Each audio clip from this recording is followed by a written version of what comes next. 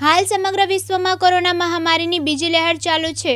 આ લહેરના કારણે સંપૂર્ણ દેશમાં મોટા પાયા પર લોકોના મૃત્યુ થયા હતા. પરંતુ ભાવનગર જિલ્લાનું ગારિયાધાર તાલુકાનું નદરોડ તંત્ર આ બાબતને સમજતું ન હોય તેમ બતાઈ રહ્યું છે. કેમ કે કોરોનાની બીજી લહેર હજી ચાલુ છે અને કોરોનાની ત્રીજી લહેર આવવાની સંભાવના છે. આ લહેર પહેલી લહેર કરતાં વધારે ભયાનક હશે ત્યારે ગારિયાધારના અનેક વિસ્તારમાં કચરાના ઢગલા, ત્યારે આશ્રમ રોડ જેવા ગામની મધ્યમાં આવેલા વિસ્તારમાં મસમોટા મોટા કચરાના ઢગલા જોવા મળ્યા હતા. આ કચરાની ઢગમાંથી મોટા પ્રમાણમાં ગંદકી ફેલાઈ રહી છે અને તેના કારણે મચ્છરોનો પણ ઉપદ્રવ વધ્યો છે. ત્યારે અહીંના રહીશો એવું કહી રહ્યા છે કે, ગારિયાધાર નગરપાલિકા સભ્યો જ્યારે મત જોતા હોય, ત્યારે જ કેમ બતાઈ છે? ત્યાર પછી લોકોની સમસ્યા તેમને શું જણાતી જ નથી? મહેશ ગોધાણે, દિવ્યાંગ ન્યૂઝ, ગારિયાધાર, ભાવનગર.